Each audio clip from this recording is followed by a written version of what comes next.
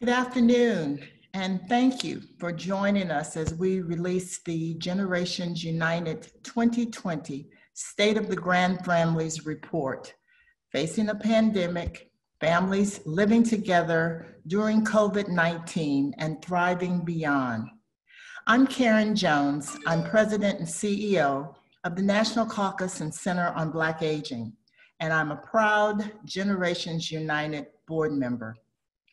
As we begin today's event, we invite those of you on social media to join and to tweet along uh, with us by using the hashtag GrandFamilies2020. That's GrandFamilies2020. This year's State of the Grand Families report was made possible by the generosity of the Robert Wood Johnson Foundation and the Casey Family Programs. We are grateful for their support and their commitment to supporting families and ensuring safe and stable homes for all children. Grand families or kinship families are families where grandparents or other relatives or close family friends are raising children. This is the perfect time to release our new report September is Kinship Month, and earlier this month, we will celebrate Grandparents' Day. In recognition, resolutions have been introduced by both the House and the Senate recognizing the critical role of grandparents and other relatives raising children, and the Senate is expected to pass the resolution hopefully sometime this week. Now it is my great honor to present Generations United 2020 Grand Families Champion Award to Senator Sherrod Brown, Sherrod Brown of Ohio, who has been an outspoken advocate for grand families across the country, many of whom are joining us for this event from their homes today. Senator Brown has repeatedly demonstrated his long-standing dedication to children and other adults and, an, and is an important advocate for grand families. Families like Melody James, a grandparent caregiver from Ohio who explains our grandfamilies are hurting. Many are struggling with their own mental health challenges while trying to help their grandchildren. All of this is exacerbated by this pandemic. Services that were available to grandchildren while in school are no longer available, and grandparents are struggling with the reality of a new role as a homeschooler. Senator Brown has responded to the impact of the pandemic on these families by leading the introduction of the Child Welfare Emergency Assistance Act, which provides emergency investments in kinship navigators, programs that connect grand families to critical supports and benefits and services in the community. The Act would also provide dollars to help grand families with emergency needs like transportation, housing, and utility payments. He is a co-sponsor of the Grand Families Act and fought for strong kinship provisions in the Family First Prevention Services Act. Senator Brown's commitment and leadership have been and will continue to be critical for improving the lives of grand families across the country, especially now during this devastating COVID 19 pandemic. For all of these reasons, and on behalf of the board and staff of Generations United, I am delighted to present the 2020 Grand Families Champion Award to Senator Sherrod Brown.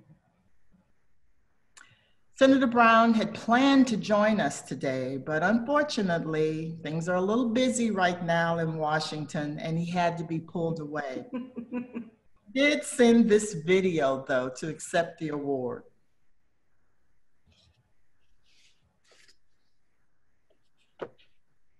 I'm Sherrod Brown. It's an honor to serve so many of you in the United States Senate. Thank you to Generations United for honoring me today with the grand Families Champion Award. But more importantly, thank you for the work you do every single day. I've worked with Generations United for years. I know you play a key role in supporting families in all the forms that we take as families, bridging the gap between generations to create stronger families and better and stronger communities. Your advocacy helps us make progress as we work together to support kinship families and child welfare agencies oh, and to expand access to affordable quality child care and early childhood education. This pandemic has been in so many ways the great revealer, laying bare the strains so many families are under, were under long before this pandemic, has revealed racial disparities and resource disparities and the flaws in many of our institutions. Each year we recognize September as Kinship Care Month, but caregivers don't exactly take the other 11 months out of the year off. They need help now. That's why I worked with you to introduce the Child Welfare Emergency Assistance Act to get emergency assistance to kinship caregivers in kinship navigator programs during this pandemic and beyond. To get it passed, we need your advocacy, we need your voices. Kids in foster care, kids who have lost their caregivers to COVID 19 or whose parents struggle with addiction. They don't have a super PAC, they don't have high priced lobbyists, but they have you telling your stories telling their stories, and that is so important. Whether you're raising children yourselves or whether you're working with families, you all advocate for these kids who have no other voice in our government. Think about that. Other than you, in the stories you tell these children so often have no other voice in our government.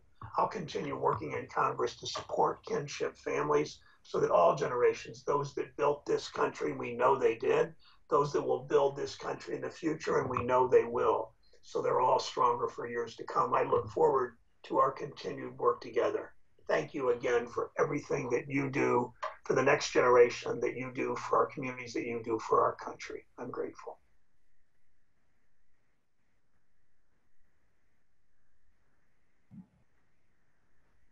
Thank you, Senator Brown, for your work on behalf of grand families. Today, Generations United is releasing our seventh annual State of Grand Families report.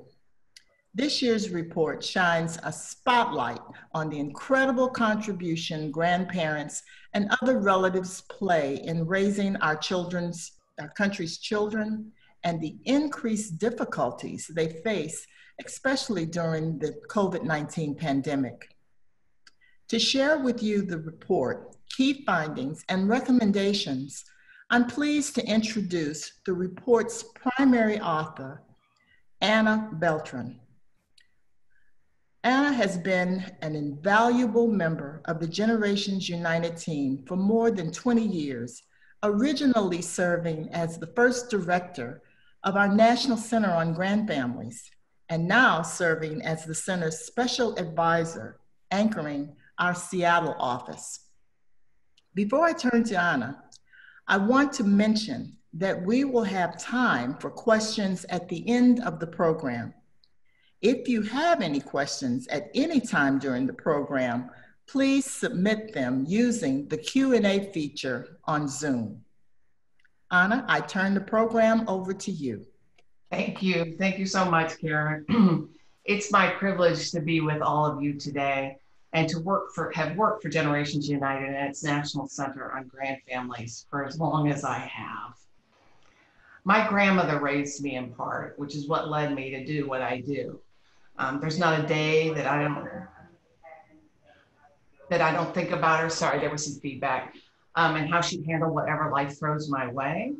As a public health nurse, I know she'd have a lot of wise words to say about this pandemic, and she'd definitely be nagging me to wash my hands uh, so I honor all the caregivers at the event today and thank you for all you do and know that it's never going to be forgotten by those who love you the most. She died 30 plus years ago and I think about her every day. Again this year, our report was informed and inspired by men and women like my our national network of caregiver advocates known as Grand Voices. You'll hear from two of them later in the program. So the COVID-19 pandemic has caused unprecedented challenges, as we all know, for all families. But the unique circumstances of grand families have caused them to be impacted more than most. Older adults are being told to keep their distance from children. That's not possible for the 2 million grandparents who are raising their grandchildren. Grandparents like Ms. Betty Hawks, Hoxie, Mr. Joe O'Leary, and the Hanna family, who share their experiences in this report. They're making meals, changing diapers, helping with all that virtual learning. They can't just wave through windows or video chat like other older adults. These are the children's first front line of defense in this public health emergency. Now, in the next slide, you'll see that the numbers of children in grand families are increasing. There are more children in multi-generational households. That $8 million, um, 8 million, I was gonna say dollar, no, 8 million number has increased.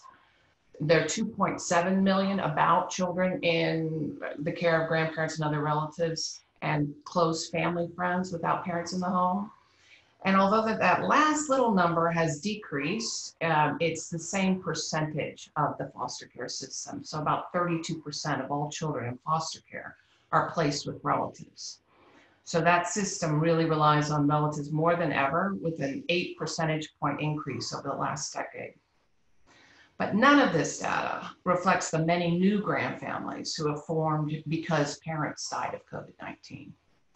Parents like Miss Ashley Hanna, who's profiled in this report, who was working hard at the local Cracker Barrel restaurant, and she's paying, she was paying for expenses in the home that she shared with her parents and her three young boys. But this healthy young woman died due to the virus, leaving the boys in the care of her parents. And this dad doesn't reflect her or others like her. In addition to COVID-19, many factors cause grand families to form, as you'll see on the next slide. Parental substance use is a common one, incarceration, detainment, deportation, many factors. And because these things can happen to just about anybody, we see grand families spanning the racial, ethnic, and socioeconomic spectrums.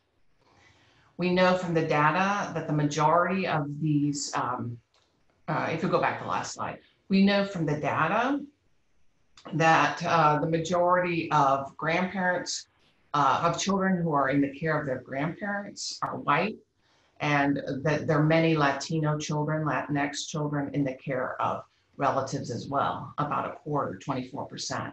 But both of those populations, uh, their numbers are mirrored in the general population of children. It's different for Black and Native American children, as you'll see on the next slide. They are more likely to live in kinship care, both inside the foster care system and outside the foster care system. So on the next slide, you'll see that many of the grand families are over age 60. It's that last little square, the last little circle. So over 48% are age 60 and over, and over 25, about 25% have a disability. That compares to 6% of parents of children. So these families are more likely to be Black, more likely to be Native, more likely to have a disability, and more likely to be 60 and over. So all of these factors, as you'll see on the next slide, put these caregivers at a greater risk for COVID-19. Black parents like Ashley Hanna are more at risk of dying from COVID-19 and leaving the care of children to their parents. When parents can't raise them, decades of research tells us that children thrive with their grandparents and other kin. You'll see that on the next slide. These children have more stability, better mental health and behavioral outcomes. They're safer, they stay connected with their brothers and sisters, and they just plain feel loved like I did. Caregivers also tell us it's that love that motivates them. Ms. Betty Hoxie shares in the report, quote, keeping family together and maintaining these connections is the best part of kinship care, unquote.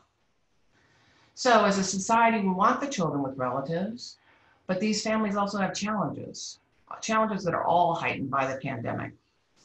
For the first time today, we're pleased to share the results from a new nationwide survey of 600 caregivers raising 1,200 children. This was conducted by our partners at Grand Families Outcome Work Group, known as GROW, and Collaborative Solutions. Straight from the caregivers, we're hearing the heightened challenges these families face include legal authority. The vast majority of kin caregivers don't have a legal relationship with the children that they're raising. They, they haven't adopted, they don't have guardianship or legal custody, sometimes not even a power of attorney. And trying to develop a caregiving plan for those children if they should die is really difficult, if not impossible. And the survey tells us that at least 30% of these caregivers do not have a plan for those children if they should die because of the pandemic or any other reason.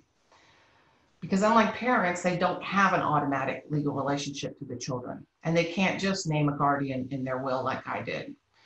Kin caregivers planning is more complex, as is their access to services and supports.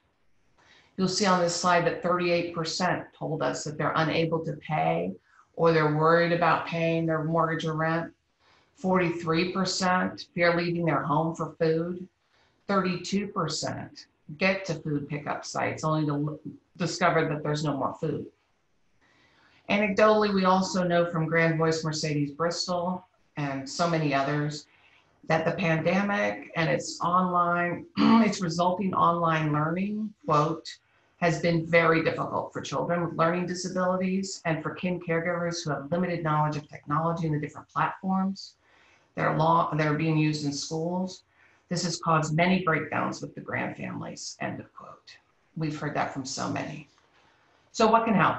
Well, caregivers tell us that online support groups are very helpful. Pediatricians, their own primary care physicians, friends, and kinship navigator programs are really helpful. You'll hear from one such fabulous kinship navigator program later in the program, Ms. Ali Caliendo Foster Kinship in Nevada. So lessons learned during this public health emergency can help us build more equitable systems of support.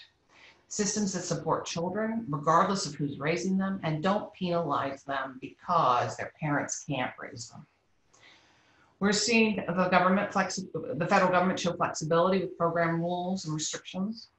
We're seeing more and more meaningful engagement of kinship caregivers, foster youth, foster parents, birth parents in system reform. And we're also seeing robust kinship navigator programs connect caregivers and children to services and supports that they need. So how can we continue these advances and help build more responsive systems of support for kinship families? Well, the report ends with key policy, federal policy recommendations and local practice uh, recommendations. The federal policy recommendations really do center around the principle of financial equity. Uh, before the pandemic, during the pandemic, children with relatives have just not been supported equitably. Children in foster care with relatives who are in the legal custody of the foster care system typically do not get the same support that they would get if they were being raised by a stranger. Those outside the system with kin often get no financial support at all. So these recommendations listed here, and they're more in the report, are really meant to address finally those inequities. On the next slide, you'll see some practice, some local practice recommendations, which kind of build on what we've already talked about. The authentically engaging all those with lived experiences is really critical. The coordination of the federal and state and local and tribal COVID responses to really make sure that they're including grand families. Those, kin, those robust kinship navigator programs are critical. And even something as simple as just using inclusive language and images in outreach materials can move the needle. So not gearing all the materials towards parents, but talking about caregivers. That alone can help. So please consider this State of Grand Families report and the six that preceded it as a call to action and an educational tool. So it's my privilege now to turn it over to Ms. Gail Engel. Gail is a member of Grand Voices, Grand Voices, wait, that's repetitive. Gail is a member of Generations United Grand Voices Network, and she's also the executive director of Grand Family Coalition in Colorado. And she's joining us today to share her grand family story during COVID 19. Thank you, Gail. Thank you all. Thank you, Ana, and thank you, Senator Brown, for the support that you have given us. Um, my husband and I are raising our grandchild, who is now 13 years old. He has um, fetal alcohol spectrum disorder, autism, sensory issues, and many more things. We adopted him five years ago, but our journey was not easy. We tried to get help for his mother through the child welfare system, but it went nowhere. Mental health is an issue that needs attention. She turned to alcohol because she couldn't hear, because she couldn't get the resources she needed to get to keep her child, and she lost it. The Family First Prevention Service Act is not the only answer here. We tried to get help for, for us through the child welfare system. If we could have received help, we would have received a kinship foster stipend, an assist, assessment for his disabilities, financial assistance to support his, his needs, adoption subsidy and assistance for adoption expenses, federal adoption assistance for adopting a child with a disability, and Medicaid. But we got none of those things. We did not qualify because he was already safe with us. Taking on a child at 51 didn't seem impossible. It wouldn't have been a choice I would have made any other way, but it didn't make life easy. Now that I am retired, my husband, we, he doesn't even see the end of, end of his work life because it's our income that we rely on. Our health is a challenge. Our income is a challenge. Our disabilities are a challenge.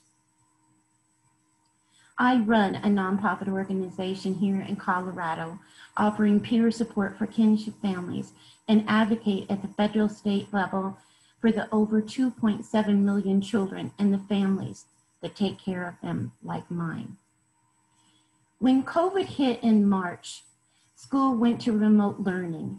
Here in Colorado, schools have gone to either online learning or remote learning. Any child that cannot self motivate or are encouraged not to do online learning, but to do the remote learning through their school teachers at school. Receiving instructions for their teachers. In October, in October, they would return back to school two days a week, alternating between two different groups. Having a child with special needs is a challenge. Children won't, um, children won't get their needs met through remote learning. Our child returned to school two weeks ago, five days a week in an affective needs class, which has been really helpful. And today he's home because there is an outbreak in his class. So I'm back to being that person again. I became not only the parent that worked from home, but also the special needs teacher, the math teacher, the lunch lady, the school counselor, therapist, school nurse, and even the school bus driver. To say the least, our relationship has been a real challenge having this little boy at home. Many of our families are also caring for their grand for their older adults, parents in their home, which makes it even harder.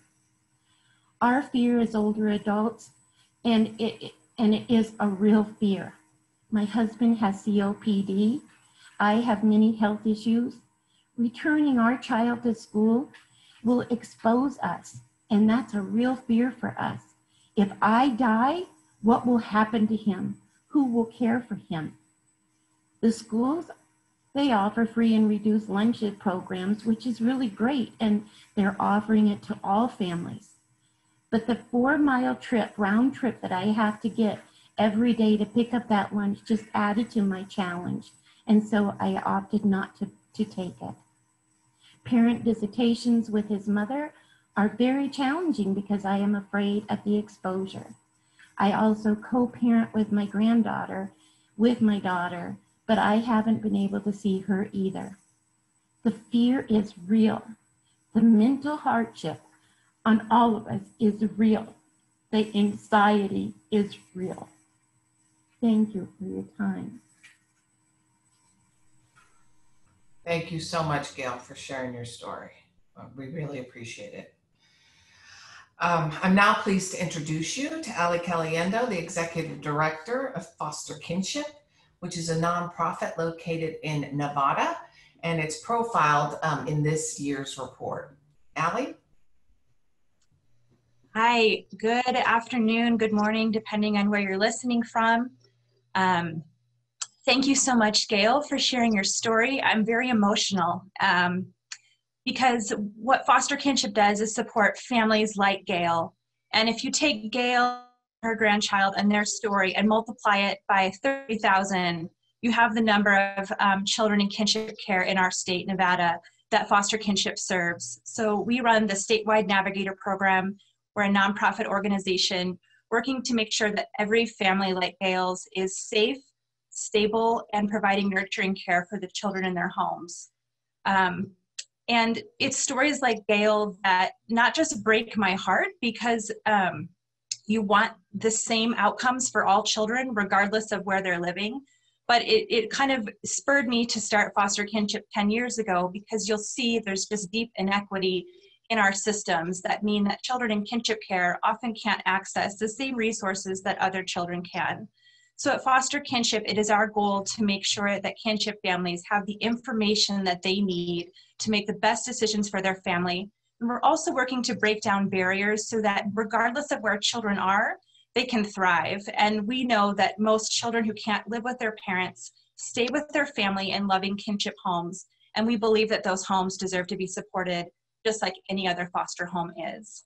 So a little bit about um, Foster Kinship's program. We are primarily providing case management services through our Navigator program, making sure that families have access to basic needs that they're able to connect to legal support that is appropriate for their family, whether it be a guardianship or adoption or foster care licensing, um, depending on if the child is in or out of foster care. And then we want them to access financial support so that the family can thrive. And then we do a lot of training and support the grandparents and other relatives to make sure that they are providing nurturing care, that they understand potentially the trauma, abuse, and neglect that the children in their home have gone through, um, and that they're able to get support from each other. And the foundation of our program has always been the voices of the families that we serve. And we want to make sure that as we grow, we're always listening to our families and providing what they're asking for. So when COVID hit six months ago, um, I was up all night the first night just thinking about if something happens to our caregivers, what is going to happen to our children? And like most things, um, our systems are designed for parents and not necessarily for grandfamilies and kinship families. And so these families who are underserved in the best of times um, were really going to be disproportionately affected again by the pandemic. So foster kinship did a few things to make sure that our caregivers could stay as safe as possible. Um, we partnered with several organizations that were new to us to make sure that families had support. So we were getting meals delivered to families. We were delivering basic items like diapers and Lysol wipes in the beginning. Um, we made sure that families who needed financial support, we accessed a, some, some money was just getting cash in the hands of family. Um, and then we started working on modifying our program to make sure that all families could continue to receive our services remotely. Um, as school started back up again for us, um, is remote here and it's a big challenge technology wise. And we were hearing just a ton of frustration from families just not able to teach and care for their children and go to work. And if you're a single grandmother or great grandmother, you are in an impossible situation. So we reached out and we received some CARES Act funding to provide child care support to our families um, to make sure that they can get their kids in maybe a hybrid learning program so that the school can happen, kids are safely watched, and caregivers can continue with their work life and keep their families stable. Finally, we're offering respite care um, for our families just to give them that break. Um, but we know that what we're doing is not enough and it's not enough anywhere. And so, if I could say anything, it's just to advocate for more support for kinship families, for kinship navigator programs, and like I said, we served 33,000 of these children is our goal in our state, but that is less than 2% of all the children in kinship care in the United States. So we need to remember Gail's story and, and amplify that for all the children in kinship care. And I just thank you very much for this opportunity to share. Thank you so much, Allie.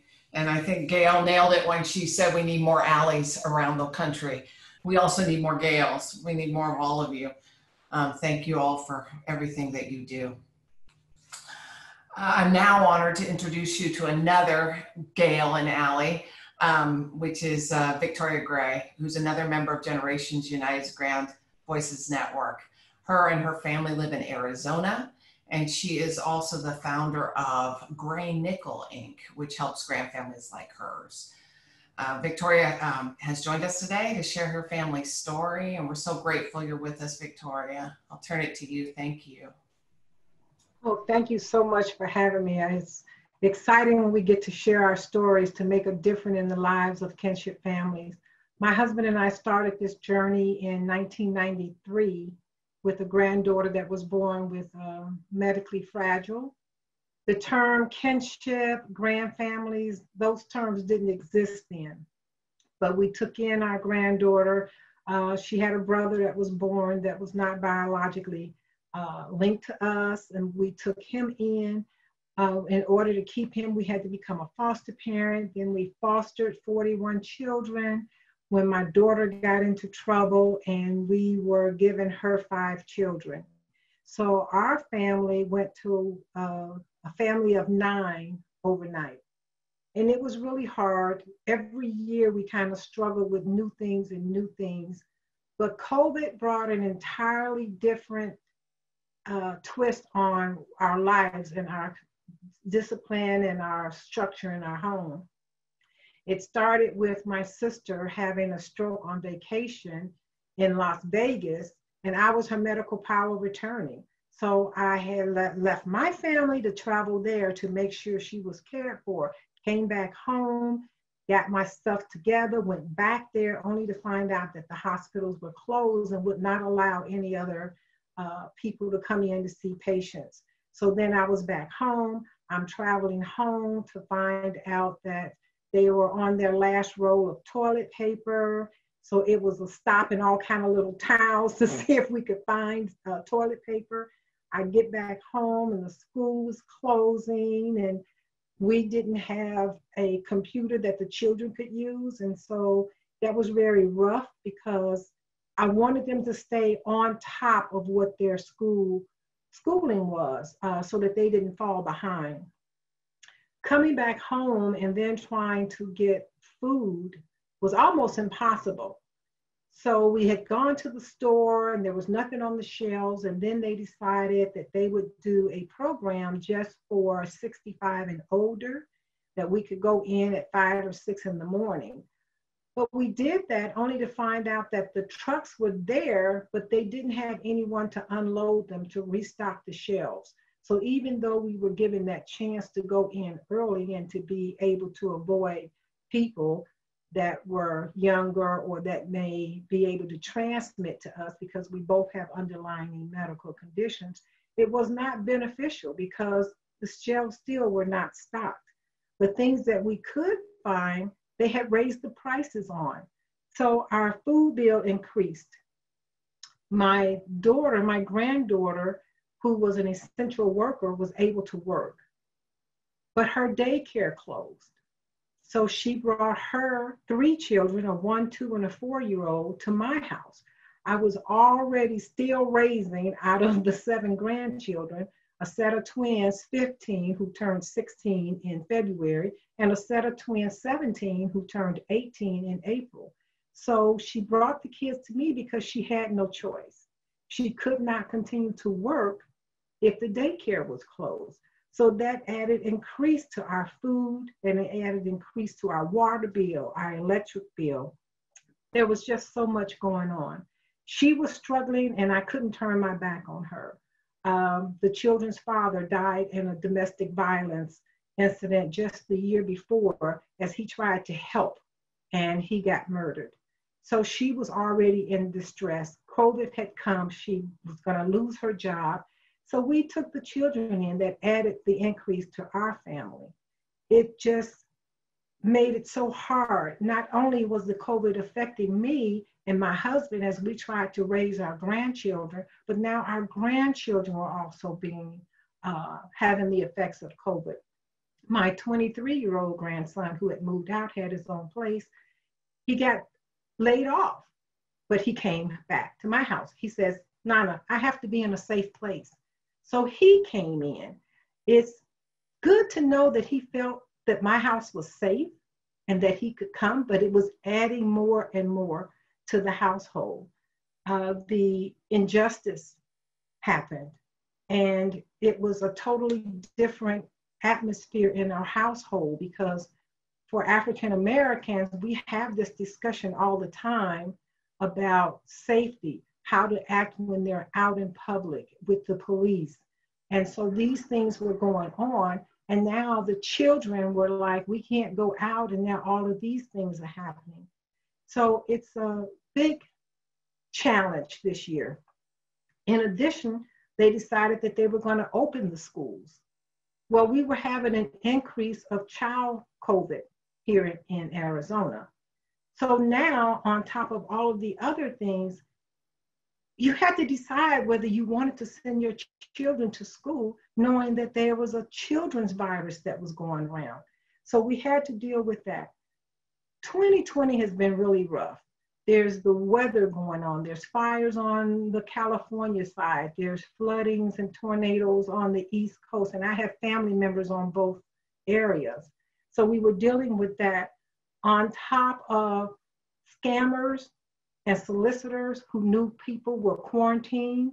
Your phone rings constantly, nonstop, trying to figure out if you need help paying your bills. Do you want to sell your house? And it just goes on and on. And so you're dealing from one roller coaster ride to another. What's going to come next? How am I going to get through? And as you set a schedule and make plans for day to day, COVID changes. And the things that you were assured of the next day was out because now COVID said, well, we're going to change this. Excuse me, we're going to change this and we're going to change that. So that all the plans that you had changes once again. So on top of everything else, I had someone call me and say, if you could vote today, who would you vote for? And I'm like, really? That's not on my plan right now.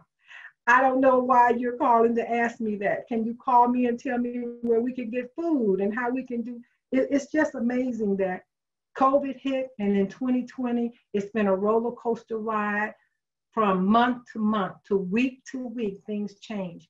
And as uh, we do as kinship caregivers, we're struggling with the children in home. They've got medical issues, they've got behavior issues. As a kinship caregiver, when we're talking about and mentally for the children, caregivers also need some support. It just makes sense that you would help support the caregiver because they are the caregivers for the children. And if we can't keep us ourselves strong, we can't provide that strength for our children. So as COVID continues and as we reach to the end of the year, we look around to support each other. I have a nonprofit and I work with kinship families all the time, helping with resources, support for them. And the biggest thing that I do is let them talk. So many families say, No one wants to hear my story. They come in with a checklist, you know, this, check that. But sometimes give us a chance to tell our story. We need you to listen because we want to be able to tell you what we need and not you decide what we need. I can tell you more about what I need than you provide what you think I need. So hearing us is very important. I thank you so much for this opportunity.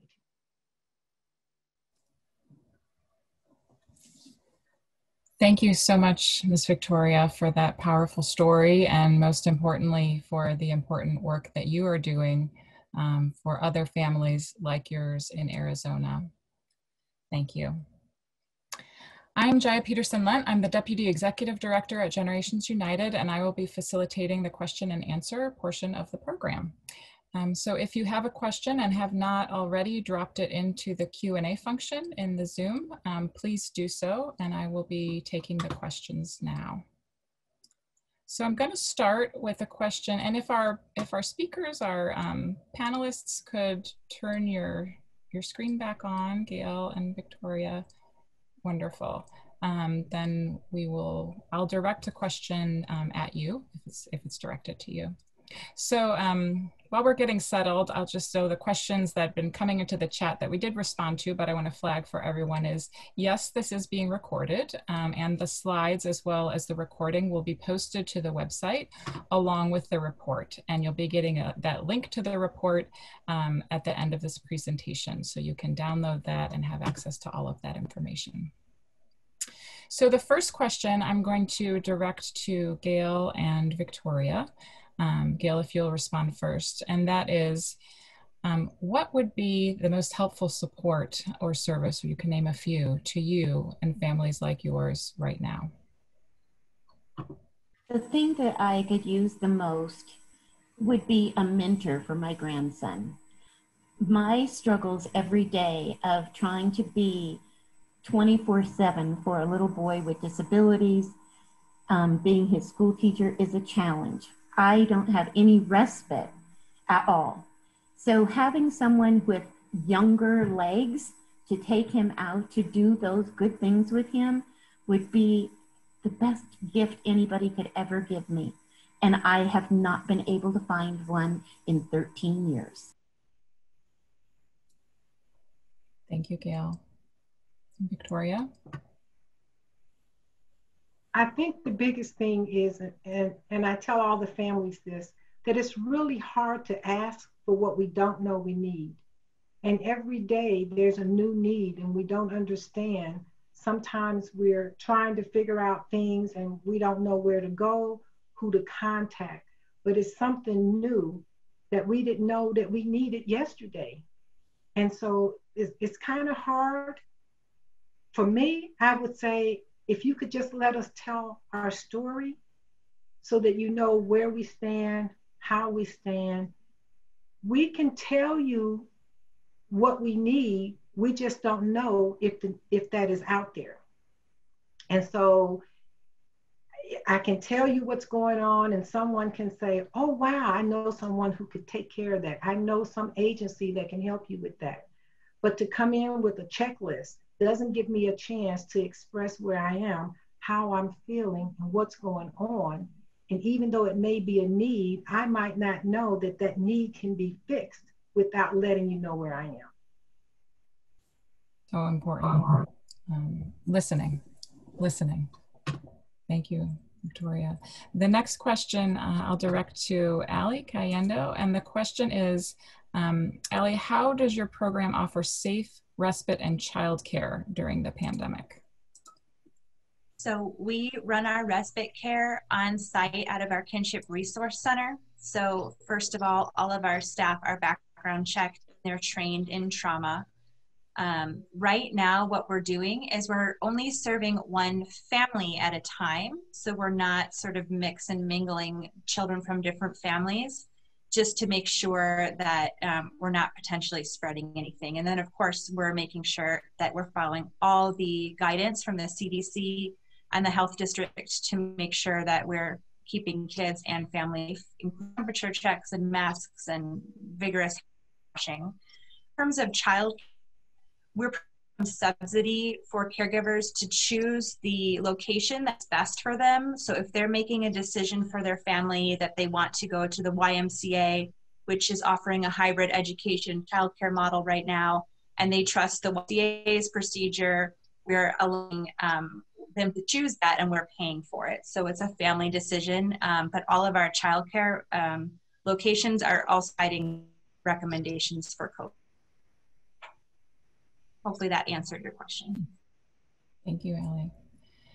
Great. Um, the next question, I'll just give a heads up in case we have some of the researchers from GROW that worked on the survey with us. Um, you could feel free to type an answer to this in the chat if you have it. Um, we have a question about were you able to gather any data on what type of food pickup sites the families were going to when they discovered that they ran out of food? Um, and I'm not sure, Ana, if you have a response to that. I'm not sure we have that detailed level of information uh, about food pickup. Um, we've certainly heard this anecdotally from um, families that have gone to wait in foods for the school lunches, um, food banks, other systems. I don't know if um, any, any of our speakers have a response to that from an anecdotal place, um, but we can, well, we're happy to provide um, the the quantitative answer if we have it. I'm not sure we do. Well, Carrie said what I believed was what, what, what I thought was was accurate was that um, we don't have any additional nuance on that piece of information. Carrie Little, Dr. Carrie Littlewood, who's one of the researchers who did that survey in the chat box. Thank you, Carrie. Anyone else can speak to issues related to running out of food? Ali? So we noticed that the um, things that were set up for families, especially initially, were not sufficient to keep grand families safe. We're requiring families to leave the house every day to go to school site pickups, wait in line, bring the kids.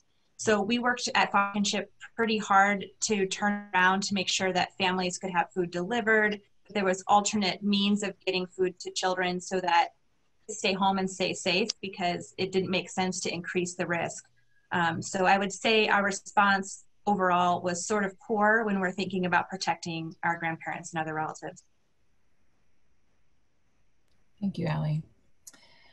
Another question we have is around whether there is any active legislation moving right now that would um, provide specific supports to help uh, kinship or grand families in response to the pandemic. Um, I'll flag a couple of things. Um, you heard Senator Brown uh, this morning mention the Child Welfare Emergency and Assistance Act, as well as Karyne Jones in introducing him. Um, he introduced that bill, um, which includes some, some investments in kinship navigator programs introduced in the Senate.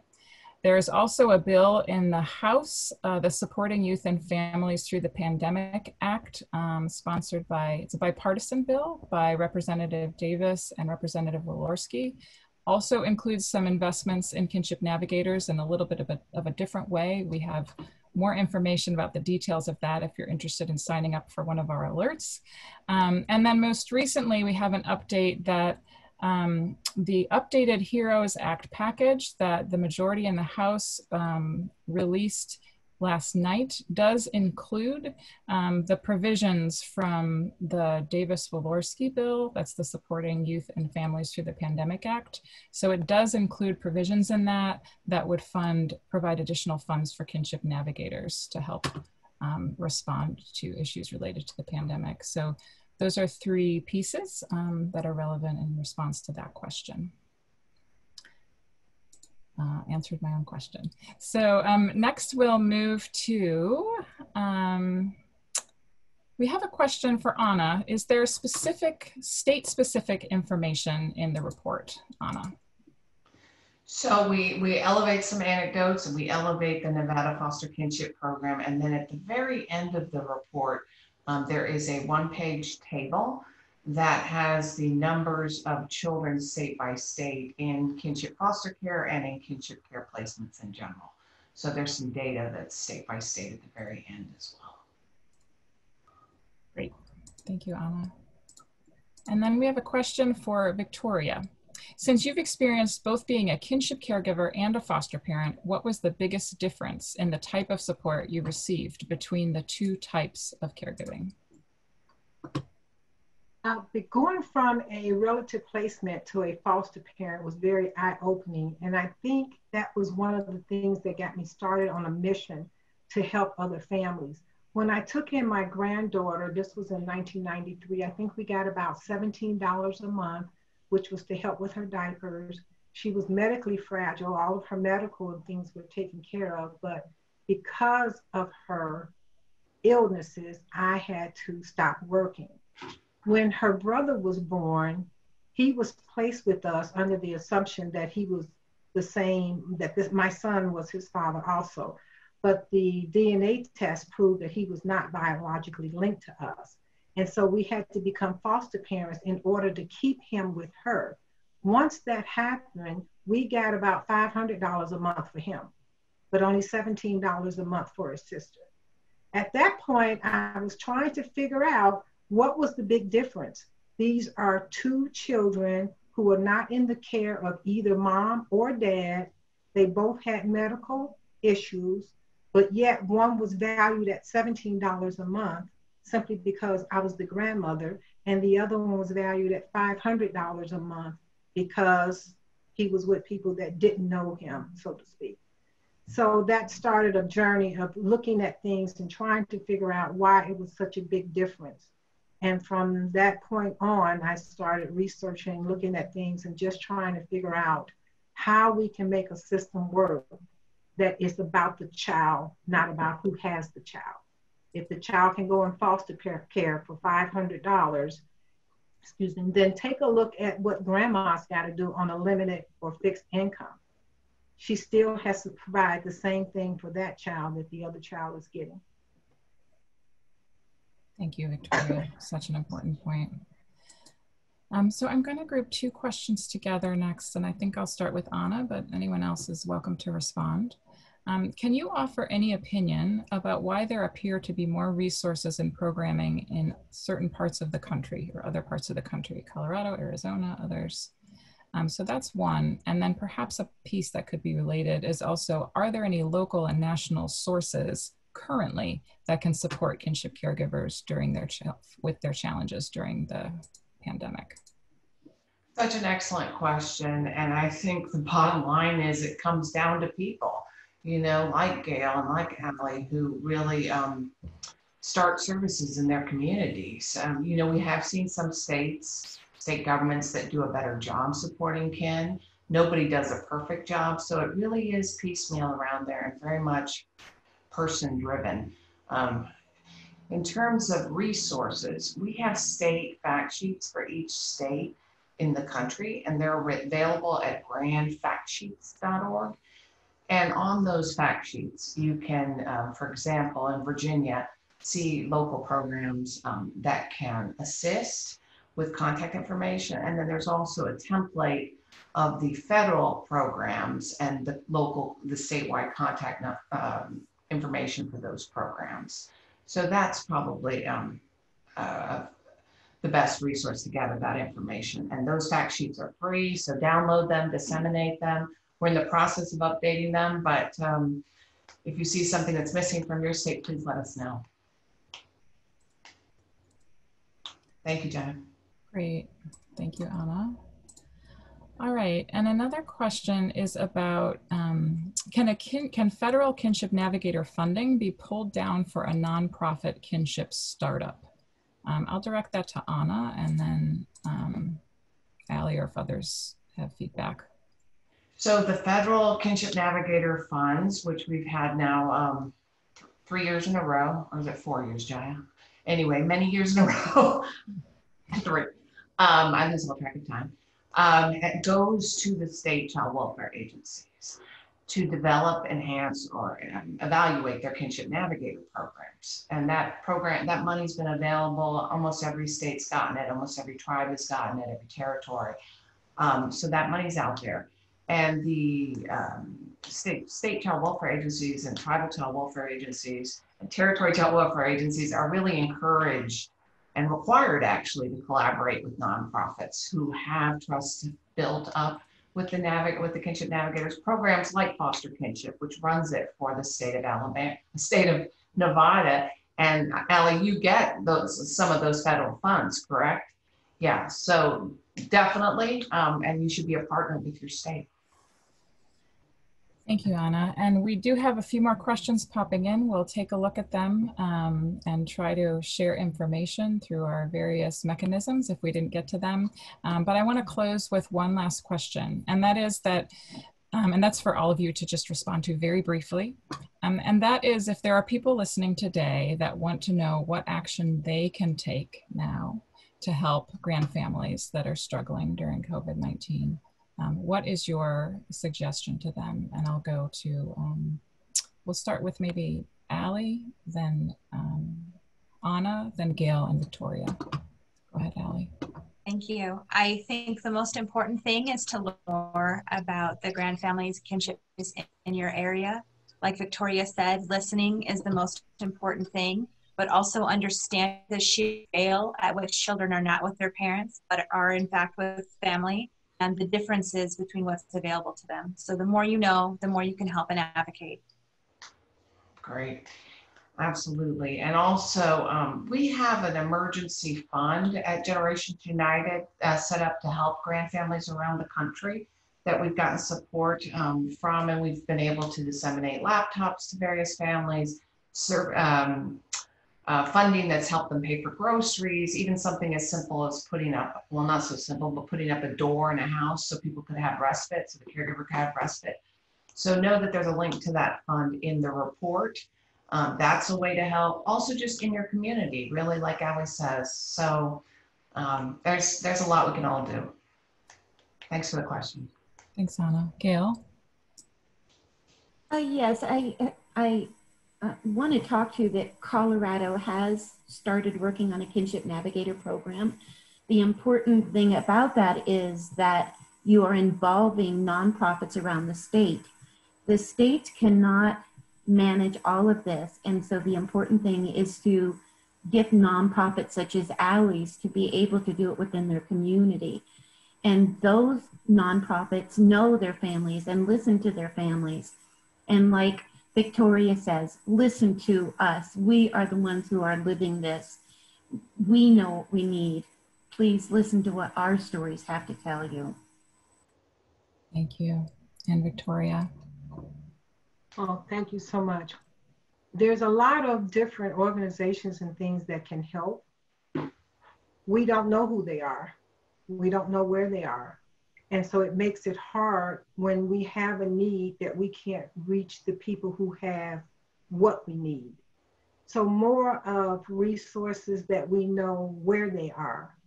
We, I, I was a benef- beneficiary of one of the laptops, which four teenagers in the house was so great and we were able to get food. But even with food, we had to split up in order to get the things that we needed. Uh, I wanted to mention that when you were talking about food, but I would go to one store, my husband went to another store, my granddaughter went to even a third store.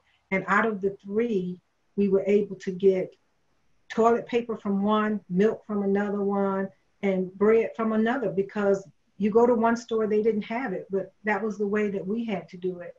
Um, we find a way to do it, but we just need to know who's out there, who's listened to our story and can provide the things that we really, really need. Thank you to all. Um, I wanted to acknowledge that we do also have an election coming up. Um, and I know that it's an overwhelming question, but we do have the power of the vote. Um, so just want to acknowledge that that is another um, way you can have an impact.